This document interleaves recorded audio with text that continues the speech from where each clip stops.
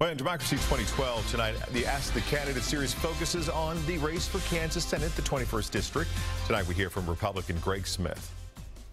Why should voters elect you? I think my experience in the legislature um, is something that gives me an edge. I've been up there, I've worked to uh, better the economic environment for Kansas. Um, this tax cut that we just passed this last session has been a huge boost to the economy already. I've talked to voters when I've been out walking door to door that said, man, that's really helped our business. It's going to put more money in our pocket come January when it's tax time.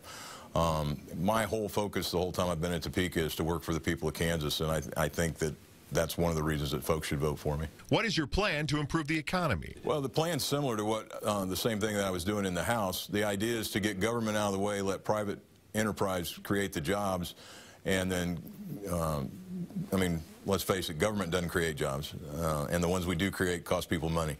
So we need to get out of the way and let the people that know how to create jobs create those jobs um, so that we can uh, help everybody. What's your plan for improving education? Well, education is something that's important to me. I mean, I'm a public school teacher, um, and so it's something that I watch very, very carefully.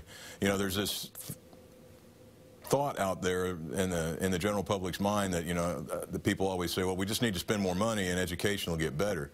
And if that was the case, we've spent over an extra billion dollars in the last 12 to 15 years in Kansas, and nothing's changed. Our test scores are the same. Our graduation rate stayed the same. Everything stayed the same. So if, if throwing all this money at it is supposed to make it better, it's not working. Now, the upside is we have an excellent education system in Kansas. Uh, we score well on national standardized tests. Um, we have students that receive awards for all kinds of academic achievement. Um, so we do really, really well. The problem we have with our education system right now comes in the way that it's financed. There's 105 counties in the state of Kansas, and one county, Johnson County, pays 30% of all funding for state education. We only have 19% of the students, and we only get 12% of the money.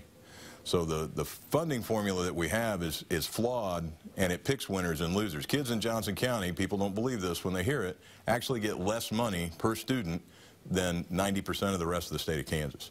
And so we need to fix the formula so it's a fair formula for everybody and not tilted to pick winners and losers.